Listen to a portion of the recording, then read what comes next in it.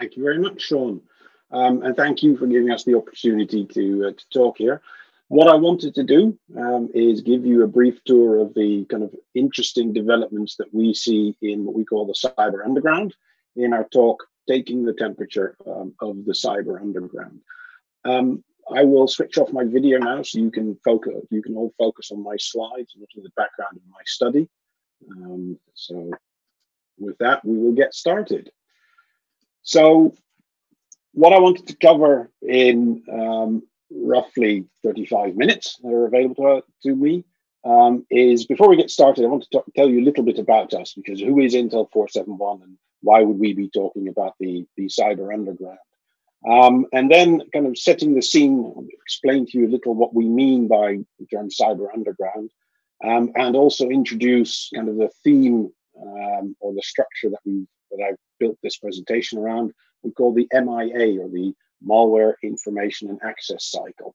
Um, and then we'll dive in. We'll take the temperature of the underground, um, which of course will be uh, lots of very scary things, and we don't want to leave you with that at the end.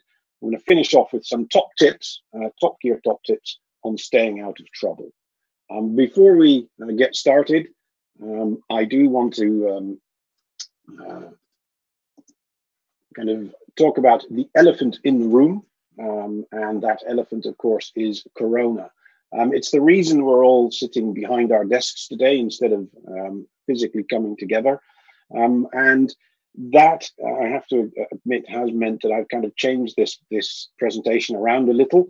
Um, in usually we do these in smaller settings, and then um, instead of a somewhat lighter Mexican beer, um, we can do presentations which are darker and more heavier beers.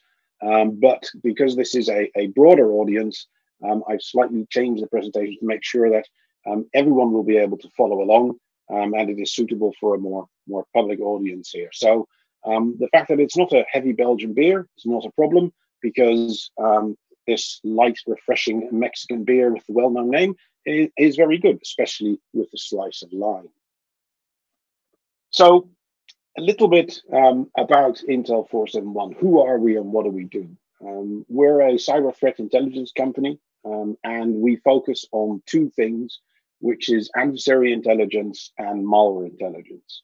We collect that intelligence um, using a team of experienced researchers which are dotted around the globe. And they focus on, on the one hand, on actors and the actor communications, and on the other hand, on the tools and the tooling that they're using, uh, malware and malware infrastructures. Um, we collect that intelligence and we bring that to our customers. And you'll be happy to know that we have multiple customers in multiple industries dotted around the globe. But that's our speciality is getting into these closed off communities um, and blending in, finding out what they're all up to. So what's the what's the idea behind this? Why would you do this? And this is not just particular, uh, it doesn't apply to us, it applies to this whole industry in general. The idea what we want to do is we want to help our customers move from a purely reactive approach to a more proactive stance when it comes to mitigating cyber risks. Um, I think that's the the correct term. So, if you were faced with this, in the words of the uh, wise philosopher Jeremy Clarkson, you would say, How hard could this possibly be securing my organization? I just plug all the holes, patch all the vulnerabilities, and the job is done. Um, of course, when you're active and when you've been trying to do this for a while, you discover there are more holes and more vulnerabilities, and the job is never done. So at some point, instead of just looking at you and your own attack surface, you start broadening your horizon and looking out. Um, and after you looked at your sector and um, organizations like you to see what's hitting them, you move beyond the perimeter and you start looking, um, usually initially at the technology, but later on actually realizing that there's an actor or a person behind all that adversarial uh, malware that's being lobbed at you and you start focusing also on the actor and the actor communications. And that's where our adversary and malware approach fits in. What we try and do, what we want to do, um, is help our customers support their decisions on the three layers of intelligence the strategic, the operational, and the tactical. Um, this is very important. And a key part about intelligence is that it helps support, deci- support decisions. Um, and we don't we want to move beyond just the tactical. The tactical are examples of compromised accounts or IP addresses or URLs that host malware. That's very tactical information. It's very good. It's very valid. And we also call it actionable. You know what to do with it. But to gain a broader understanding of the whole ecosystem allows you to make more operational and strategic decisions, position yourselves better. Um, and that is what we try and, and help our customers achieve. So I've talked a bit about the cyber underground. Um, also, there's a reason we call it the cyber underground, um, and I'll talk a bit about the the, in, uh, the cycle that powers so much of it. We try and avoid uh, the term deep and dark web. I know that there's a lot of uh, people talk about the deep and dark web. Um, we also think that ice and icebergs, um, well, not icebergs as a whole, but certainly ice belongs in your drink, uh, and icebergs um, basically have very little place in cyber threat intelligence. So the we like to think of this as not so much a deep deep and dark web sounds very Hollywood. It's very magical. It's very spooky, um, and it is almost endless and limitless. And we think the truth is is a bit different. It's actually not as big as you think, um, and it is fairly structured. Um, and the reason is there's a lot of actors there that are trying to achieve something, and to achieve that, they need help. They need to communicate with others. They need to find like minded individuals that will help them. Um, and actually, in a very large and very dark and deep web, that becomes really difficult. So actually, it's rather self-organizing and self and, and structured in a way. Um, and we basically distinguish three main pillars: um, products, services, um, and goods. So products are things like malware and phishing kits, web injects, kind of like the tools that you use to to um, basically commit all your nefarious activities. Um, the services are the bits that help with that, the intangibles, bulletproof hosting, exploit kits, um, bits you rent, etc. And the goods, but once you take your, your tools and your services and you apply them, you end up with goods. And the goods are the end result. Um, and that's the, the part that you can buy, sell, trade, or uh, pass off to someone else where it starts to power another cycle or another value chain. And in this underground structured, call it a marketplace or an ecosystem, um, you have all, all kinds of actors with various motivations. Some of them are financial, others nation state, um, espionage, hacktivism, um, and they are buying, selling, discussing, planning, developing all these products, these services, and procuring or selling or um, goods. That is what we call the cyber underground. And in an actual fact, it is fairly structured. And if you understand it, if you understand how it works, um, you can actually make kind of better mitigate risks um, for your organization. Now, what I want to do in this presentation, kind of taking the temperature of the cyber underground, is do a kind of an overview, an overflight of some of the interesting developments that we see. Some of them are fairly recent, um, some of them have been going on for a for a very long time, but I want to show how they interlock. And kind of the, the theme that I'm going to use to show how all these various moving parts click together and slot together is something which I call the MIA cycle. Um, at its heart, it's the malware information and access cycle.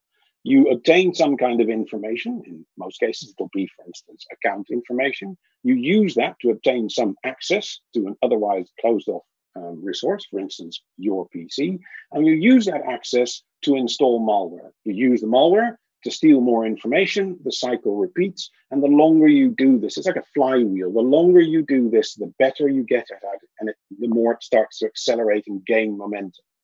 Now, you can basically enter or leave this cycle at any point you want. You can buy or sell malware installations if you want to get started. You can buy or sell information, the credentials that gain the access and you can actually buy and sell the access itself. And for all this buying, selling, acquiring, or trading, it's very handy that you have this structured cyber underground. And this cycle um, and its various entry and exit points are, are kind of like a value chain. They power a lot of what happens in the cyber underground. Now, are we solely concerned about kind of perpetuating this cycle? No, of course not. But once we have this core, we can use it to do other things. So instead of taking information like credentials, we can also steal data. We can use our access to steal data and try and monetize that data. Um, or if we have espionage as our motivation, we're not monetizing the data. The data is our end goal, our end objective, but we use this cycle to get to that data. Um, if we have malware, we can install other malware. One prime example would be we can use malware to drop ransomware and then try and monetize this the, the malware install that we have in that particular way. Um, and finally, malware can serve as a platform. We can basically use that to move around an organization or a network and find other targets. This is kind of the MIA circle, um, the MIA cycle, and I'll be referring back to it um, over the course of my, my presentation. And this is kind of the map that shows you how these varying bits fit together. So let's start looking at the underground perspective and let's start taking the temperature of the cyber underground. Now, as I've said, the elephant in the room is Corona. Um, as you may have noticed, the world is undergoing a bit of a pandemic right now, and this certainly hasn't escaped um, the attention of the actors in the cyber underground. Um, I think there'll be a couple of talks, and have been a couple of talks today already, about actors using or abusing um, Corona or COVID 19 to spread malware um, and for phishing campaigns, etc. And um, I'll start off with one that we caught um, that we that came across our radar um, earlier. It's actually, I think, nicely ties into a report that uh, Palo Alto's Unit 42 um, published just very recently.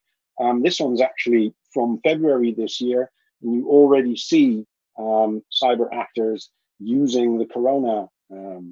Um, it was a pandemic back then, the corona crisis to spread malware. In this particular instance, it's very interesting this is a spam email purporting to be from the World Health Organization, which is sent to um, recipients in the shipping industry, saying that there's a new um, there's a new procedure that all um, captains, all masters of a vessel must adhere to.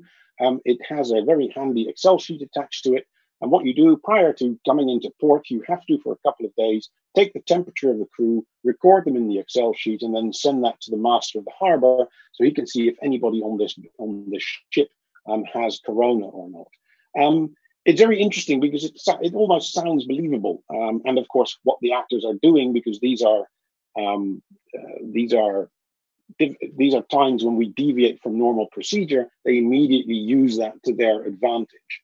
Um, now, the Excel sheet in question, of course, um, actually has a complete other um, uh, other purpose. The purpose is to install malware. The malware that it installs is a, a malware family called Hawkeye, and Hawkeye um, is a category of malware we call an info stealer. What it will steal is passwords and anything you enter on the keyboard. And so the idea is to steal information. And the way this Excel sheet does that, it actually abuses um, a um, abuses function in Microsoft Office called the um, equation editor. Um, so it uses, and that the vulnerability in the equation editor is actually um, very old. It's a three-year-old vulnerability. Um, now, malware-laden spam targeted at the shipping industry using a three-year-old vulnerability. Um, and the reason for this, the shipping industry, is probably because the actors read about the Maersk incident, where Maersk, a large shipping uh, organization, got um, hit by ransomware. So there's every chance um, that the actors have read all the reporting there and thought, oh, hang on, shipping industry. Well, there's an, an industry that seems to be behind on patching a little. Let's try hitting them with this. Um, so is this vulnerability actually old? You bet it's old. Um, as a vulnerability, it's a very interesting one. Um, if you've ever, it's it, it was actually contained in the least used bit of Microsoft Office, which is the equation editor. Um, and not only that, but it was it was contained in a very old version of the equation editor, which normally only gets called upon if you find very old Office documents which actually had an equation in them. Um, so I think this this kind of qualifies for the absolutely least t- touched bit of code inside all of Microsoft Office. Um, and is it old? Yes, it's more than three years old. and one of the things we do is we track vulnerabilities um, as they're being discussed in the underground. And the idea behind that is to help our customers prioritize patching. Uh, patching is a massive challenge for a lot of organizations. And um, one of the things is there's so much to patch that people need to prioritize. And one way of looking at this is looking for state changes in actors discussing or being able to exploit certain vulnerabilities. Um, so what we're looking at with this vulnerability intelligence dashboard is we're looking for vulnerabilities where something has changed, which means that actors may not be able to exploit this yesterday, but they will be tomorrow. So today is a good day to start patching. And this vulnerability, CVE 2017-11882, is that on that dashboard? No, it isn't. And we do have a, a report for it, um, actually a historical report, because that one is is three years old. It's not nothing has changed in it. People have been able to exploit this one for a very long time. Um, for instance, here we have a report about an actor um, offering an exploit pack that actually contains that particular uh, one of the vulnerabilities it's able to use is exactly that one, published on the 24th of November in 2017. Um, another one, an, an actor on hack, for, hack forums offering um, another exploit kit for Word available, again with this vulnerability in it, dated in August 2018. So there's actually already several exploit kits using this particular vulnerability, um, and you actually basically should have patched this one by now. So if this isn't the one that we're watching for, what else? What is new? What is interesting? What is it that you should be keeping your eye on? Let's continue a little further on with our tour of the cyber underground. Um, and the next, the group that I wanted to talk about next is a group called TA505. They are an interesting group and certainly want to keep an eye on. Um, I actually believe, looking at the uh, the agenda, there's another talk on them today. Um, and TA505 is a fairly sophisticated group, and they're over here on the left. They're in the malware and the platform and the ransomware side of things. Um, their main aim is to infect machines with malware and then to monetize that in some way, either by moving through the organization um, and um, uh, moving through the organization and then um, stealing money, or in some cases, dropping ransomware. So this group is sophisticated. Um, it's been around since 2014 at least. Um, and up till very recently, they were uh, well known for using the Necurs botnet for doing massive spam runs, which were dropping malware. Um, there's a lot of research into them, especially by uh, Proofpoint. Obviously, um, have a keen interest in anything to do with spam. Um, and actually, by their tally, a lot of the historical biggest mal spam runs in the world um, in successive years all came from TA505. I say used because actually earlier this year, a month ago, uh, Microsoft launched an operation together with partners to take down the Necurs botnet. Um, and it seems to have gone very quiet. So TA505 is probably um, looking for new ways to, spread, to uh, spread their malware. And interestingly enough, I know there's one talk today um, where they seem to be using some innovative new ways um, of getting malware onto machines. However, through their when they were still using spam messages, messages um, they had a variety of ways to kind of get the malware on the machine. Uh, Word documents or Office documents with macros in them, um, loaders, um, all kinds of small pieces of code that will reach out and download um, uh, malware. Their main motivation is very simple. They want the, it's financial gain. Um, and their targets are organizations all over the world. They have basically, um, we see them target, targeting countries and organizations basically across the globe. They're very um, sophisticated, they're very mature, and they have a very broad reach. The malware that they've actually used, so the eventual malware that gets dropped onto the machine, has been a mix. It's been banking malware, um, also info stealers, um, remote access tools, toolkits, um, but also ransomware. And they've been around for so long, since 2014, that actually um, they've had to change or change their the, the malware that they use because sometimes the malware families they relied on simply disappeared, either because the author stopped supporting them um, or they were taken down through international uh, coordination between security companies and law enforcement, for instance. So they've been known to use Dridex, TrickBot, Shifu, Kegotip, Jaff, Philadelphia, Global Imposter, and recently um, they've kind of returned to ransomware um, and started using Clop. And over on the right, we've got some, um, I just called some articles from the press um, from incidents that uh, TA 505 was possibly involved in. Um, so we've had the University of Maastricht in the Netherlands hit with a ransomware attack, Clop. Um, they actually paid somewhere around 250,000 euros to get that to get access to their um, infrastructure back to basically get the university up and running again. Um, and that's a good indicator that people are making serious money doing this.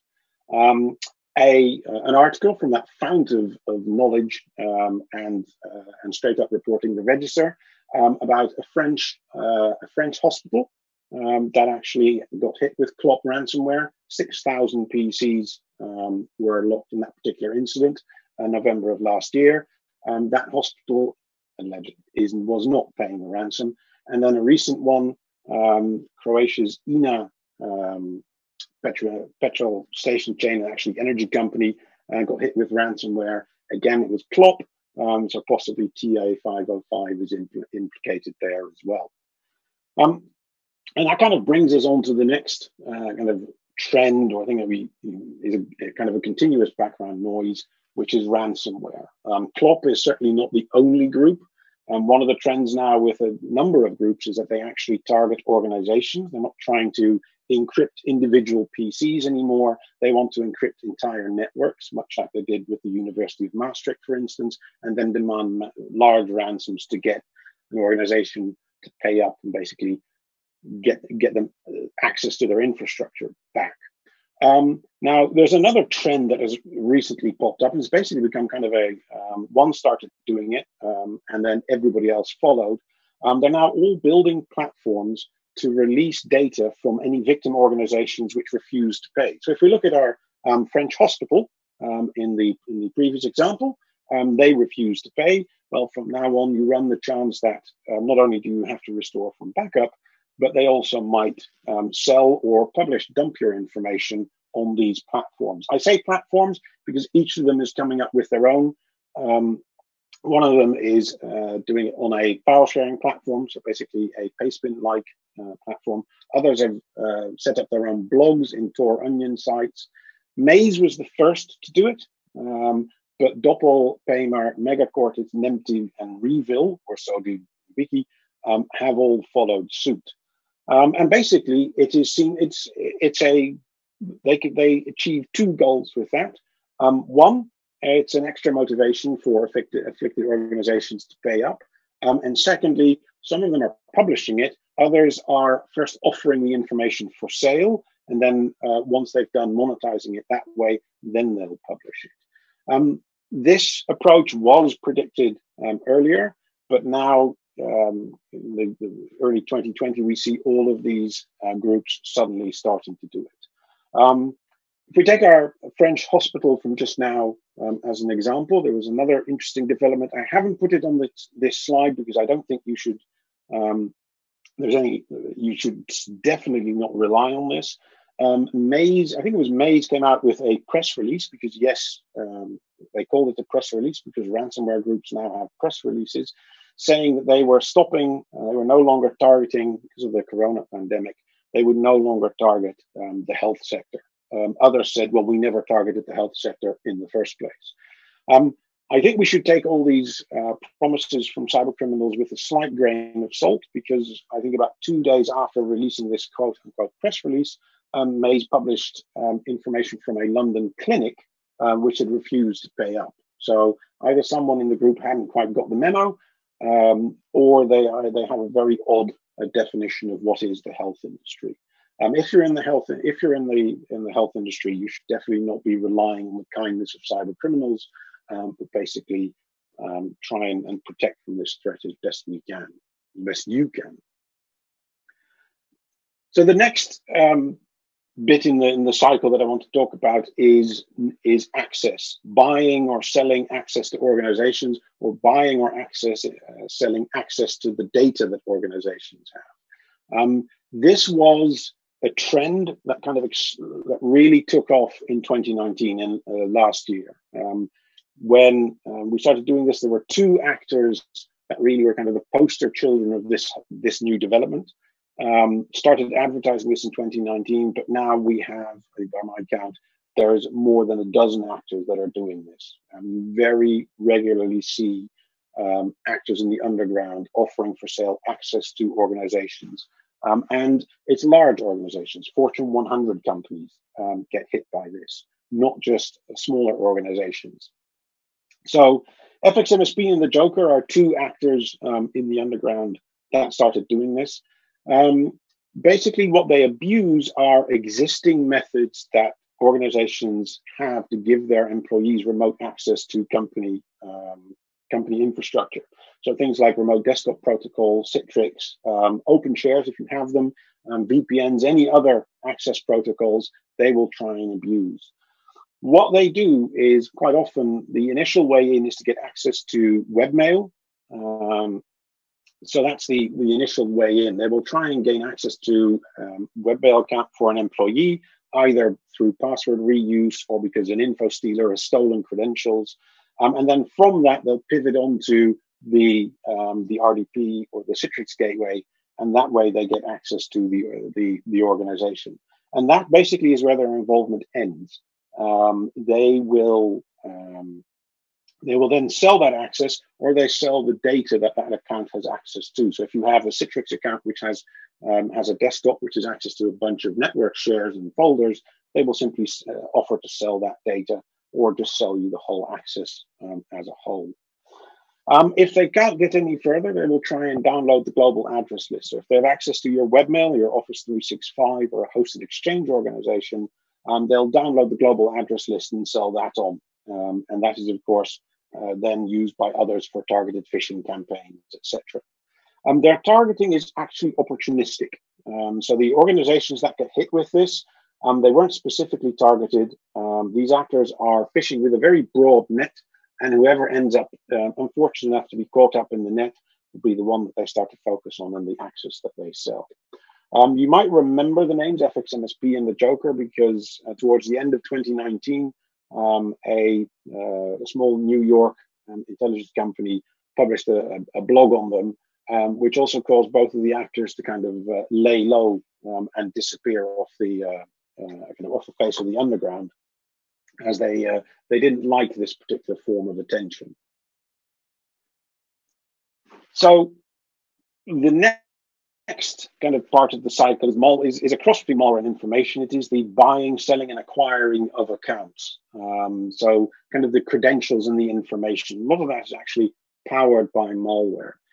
And a very popular category of malware, we mentioned it um, earlier with that spam email that we saw, Hawkeye, is in our info stealers. So info stealers are a category of malware um, that is basically focused on just stealing credentials um, or making it possible to gain access to credentials. There's a kind of important distinction. They're not just stealing credentials, they're stealing credentials, browser history, cookies, um, but also um, kind of the characteristics of your, the property, the characteristics of your device, what type of browser, what, what brand of laptop, for instance, um, screen resolution, all these things, so that um, whoever buys these credentials is then able to emulate the victim as closely as possible, including, for instance, session cookies, usernames, passwords, etc., um, and gain access to accounts one of the reasons to, to, grab session cookies, for instance, if you've ever um, logged into a website that's protected with two factor authentication, um, you usually get the option to trust this device, and then username and password is sufficient from then on in. The, the website won't ask you for two factor authentication for that device or that browser. That's usually based on cookies and a bunch of other um, characteristics of the browser that are recorded at, at that time. Um, and so basically, by stealing all of that, the info stealer, the, the, the, actual actor, hopes to be able from a different device to log in and not get challenged for two factor authentication. So these um, these couple of families, the, the, most popular ones are AZORult, Predator, the Thief, and Hawkeye, um, actually are focused on doing just that. Um, there's also a huge number of banking malware families, such as DanaBot um, and others, which also have this capability built in. Um, sometimes the actors running these banking malware botnets start pivot away into becoming an info stealer. And sometimes they just basically, this is an extra little add-on, another way to monetize their bots. Um, these there are huge numbers of installs out there, and they're all stealing huge numbers of, of passwords to every single site that you're that the victim is visiting. Um, so that's one way of gaining access and, or grabbing information. Um, another is to simply try and brute force your way in. Uh, it's called account takeover. And so now we're not actually using malware. Um, what we're actually abusing um, is people's tendency to reuse passwords. um, all over the place. And the other tendency that quite a lot of sites um, require make you use your email address to log in, which basically means across a lot of different websites, your username is consistent. It's your email address. Um, and the and sites say, well, that's not really a problem because the password will always be different, right? And that's where password reuse comes in.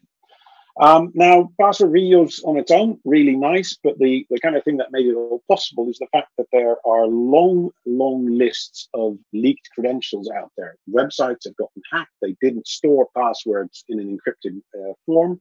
So basically, there are huge collections of combinations of usernames and plain text passwords, billions of them. Um, and here's where the password reuse comes in. If someone has used the password on um, a site, for instance, LinkedIn got hacked in 2012. That's a, a huge cache of passwords right there. Um, if they also use that on their Yahoo webmail, same password, well, we could try logging in with that password on Yahoo. That's what account takeover um, looks like. Now, that sounds like a lot of hard work, um, and that's why a lot of um, and, and basically that's what we have computers for. So this whole process of automating um, kind of trying all these passwords on different sites has been automated by a, a bunch of, of, tools, account takeover tools. One of the most popular ones and well known um, is Sentry MBA. Um, it's a tool for doing exactly that. It's fairly sophisticated, um, fairly nice, um, and it offers a couple of um, neat, quote unquote, neat functionalities. One is you can basically load it with a configuration on the target website that you're trying to gain access to. So basically, you need to tell it how does the login page work and what does a successful login look like.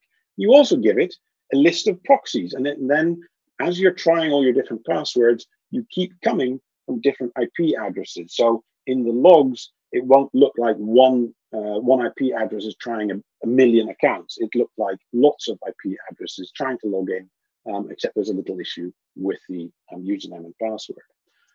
So um, the tool itself is actually free. Um, and you need the tool, you need these lists with usernames and passwords to, to try and um, to, for it to try. And um, if you want to, you need a list of proxies that it can route its traffic through.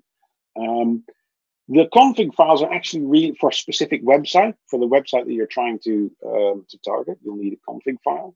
These are fairly easy to come by. And there's a bunch, if you Google, uh, there's a bunch of them that you can download um, for fairly well known uh, websites that people want accounts on, stuff like Netflix, Spotify, um, PayPal, all those others.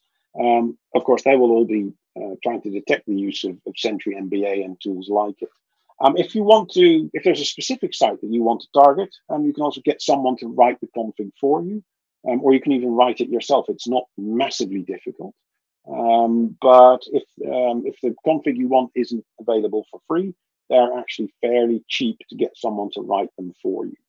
Um, and if you want to know how to use Sentry MBA, there are many many tutorials. And and again, kind of a proof that it's not always the deep and dark web. Um, YouTube has a fair amount of them. Um, and that's certainly not deep or uh, certainly not the deep and dark web. Um, so the cyber underground stretches all over, um, as it were. So we're we're we're taking and grabbing all these accounts, um, and we t- basically all these bits of the cycle um, end up with us taking things. So where does it all go? Um, where does all this information and all this data go, and where does it eventually end up? I think this is the bit where the underground shops come in. Um, underground web shops that allow you to buy and sell um, any type of data, um, especially, for instance, credentials. So, one of the things you have in the underground uh, are credential shops, um, fairly sophisticated looking ones. This is a, a very popular one called Slilpp. Um, you see very nice login screen, um, a username and a password. Note the fact that they're using CAPTCHA. Um, apparently, they, for some reason, are very well aware of the dangers um, of account takeover and brute forcing.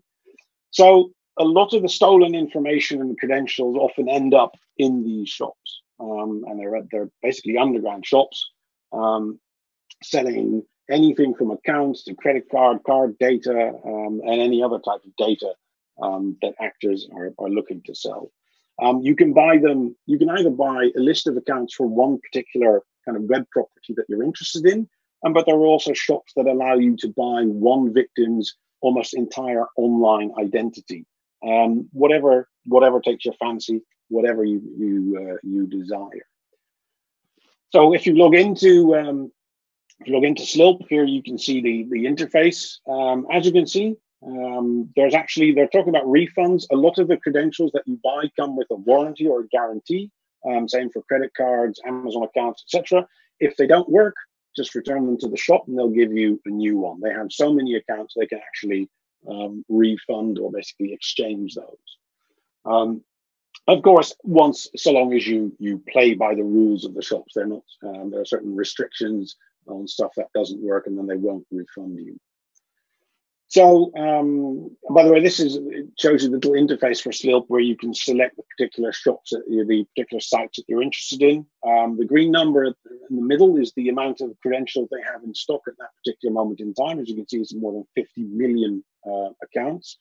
So we're kind of, kind of, this is where the cycle comes complete, right? A lot of the um, data that ends up in these shops comes from our malware information access cycle. So it's the for a lot of people, this is the the end goal, um, monetize data through here. But for others, it's the start.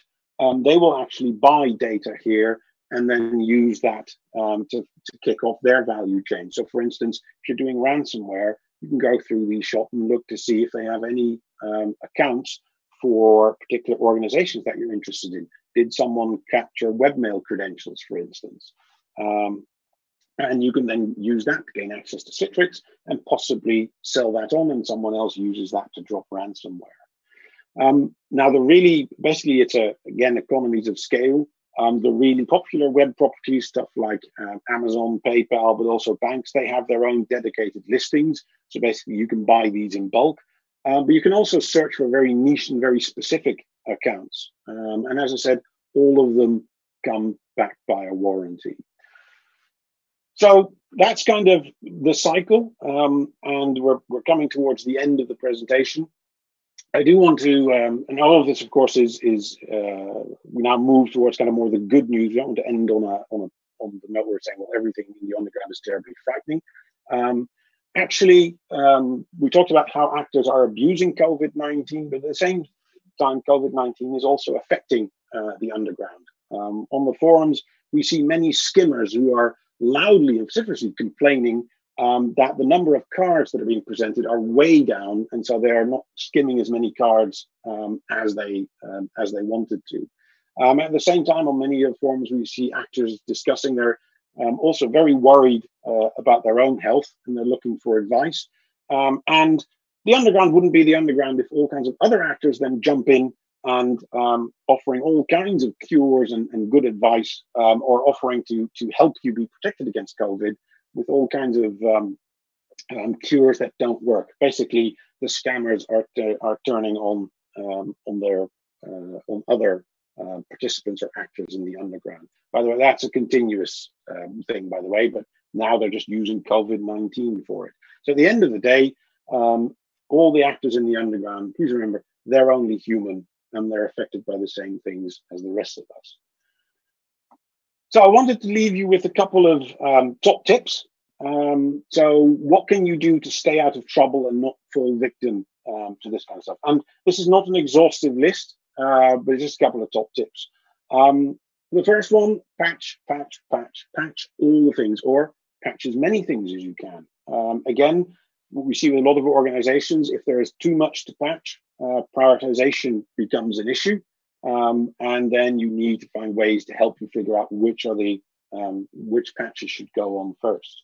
Um, another very very important thing: put two-factor authentication on everything external. Um, you might even use it internally within the network as well for sensitive um, uh, sensitive resources. But certainly anything that's external facing, that's internet accessible, you uh, in this day and age, a username and a password um, I hope if you take anything away from what I've just been talking about, um, a username and a password is no longer sufficient to protect that. Um, also consider basically protecting it by requiring VPN access to access services like remote desktop protocol, etc. And basically, anything external use a VPN. Um, and then when you're using these things, make sure that you're logging, you, you log, um, first off, you log and uh, hopefully also monitor your logs. That way you get alerted if anything goes wrong. But the ability, having logs when there's an incident is incredibly valuable. If we look at all these, um, for instance, going back to Fxmsp and the Joker, instances where they have access to organization, the question becomes did they take data did someone else access it how much if they took something how much did they take um, and if you have logs maybe those can help you look back and answer those questions without them um, it all you'll just have to wait um, and see what happens. And finally um, use cyber threat intelligence to broaden your understanding. But of course you're all going he would say that wouldn't he? Um, but in all seriousness i hope that um, this presentation has shown that having a broader understanding of what's out there and how the various parts all interlock helps you to make the right decisions on mitigating all the risks associated with that. Um, and with that, ladies and gentlemen, um, I will say thank you very much.